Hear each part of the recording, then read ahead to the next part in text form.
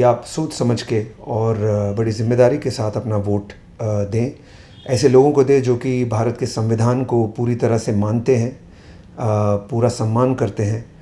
और भारत के जो की जो फ़िलासफ़ी है, द आइडिया ऑफ़ इंडिया जैसे हम कहते हैं, उस चीज़ को निभाते हैं।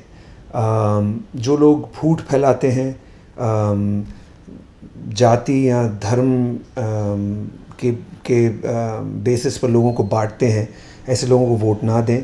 वोट सिर्फ़ और सिर्फ़ उन लोगों को दें जो कि आपके काम करें, जो कि एम्प्लॉयमेंट बढ़ाएँ, जो कि एजुकेशन पे ध्यान दें, जो कि आपकी हेल्थ केयर और वेलफेयर पे ध्यान दें।